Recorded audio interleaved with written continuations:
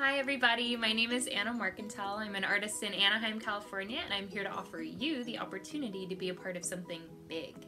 How big exactly?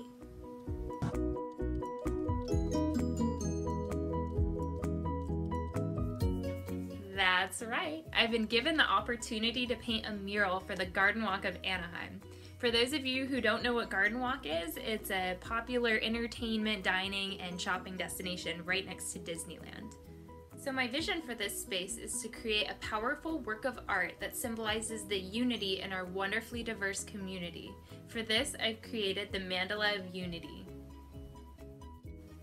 The Mandala of Unity stands for peace, togetherness, and harmony in diversity.